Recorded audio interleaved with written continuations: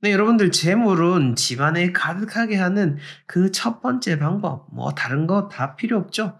항상 현관 청소부터 시작을 하셔야 되는 겁니다. 지금 어린이가 집 앞에 현관 아주 깨끗하게 잘 치우고 있는데요.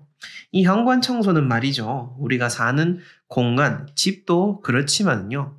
왜 그런지 모르겠습니다만은 여러분들이 잘 되고자 하시고 집안에 좋은 운을 모으고 싶다라고 한다면은 내 집안에 들어오는 그 길목까지도 신경 쓰고 책임지는 그러한 생각을 하셔야 되는 거고요. 그런 의미에서 내 집안의 현관 청소도 당연히 하셔야겠지만은 문 앞에도 더럽다고 한다면은 그 청소하시는 분이 청소하길 기다리기 이전에 그냥 스스로 먼저 이렇게 깨끗하게 닦아 놓는 것도 여러분들에게 운적으로 큰 도움이 된다라는 것을 기억하시길 바라겠습니다.